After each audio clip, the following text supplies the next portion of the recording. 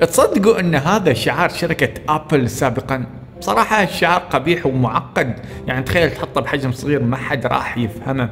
فستيف جوبز الله يرحمه قال أن هذا الشعار معقد خلينا نبسطه.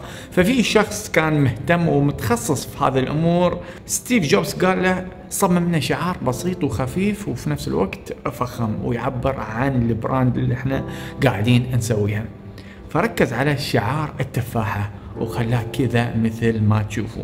لكن كثير من الأشخاص كثير من الناس قبل لا يدشنوا الشعار قالوا هل هذا تفاحة ولا كرز؟ فقال شو أقدر أسوي علشان أفرق بين الكرز والتفاحة؟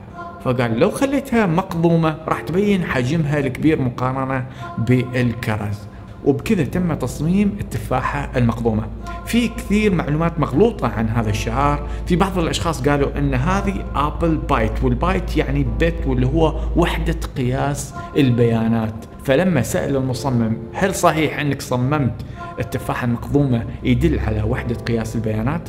قال لا هذه صدفة وصدفة جميلة. وبعدها ضافوا هذه الألوان اللي تدل أن أجهزة آبل في هذاك الوقت قادرة أنها تطلع البيانات والصور بالألوان وكانت تقنية فريدة وحصرية لأجهزة آبل. أتوقع معظمكم ما كان يعرف هذه المعلومة. حطوا لايك إذا عجبكم الفيديو لا تنسوا الاشتراك إذا حابين تشوفوا أكثر من هذه الفيديوهات.